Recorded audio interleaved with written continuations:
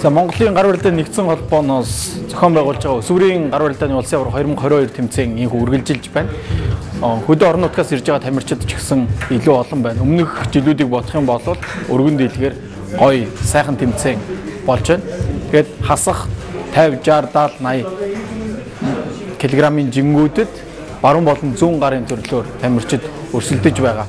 Тэгэхээр бид нар тун удахгүй мундаг тамирчид бэлтгэн гараад олон улсад бас нэрээд тийм тэмцээн болно. Тийм аваргууд бас төрнө гэж найдаж байна. Бүгдэнд нь баярлалаа.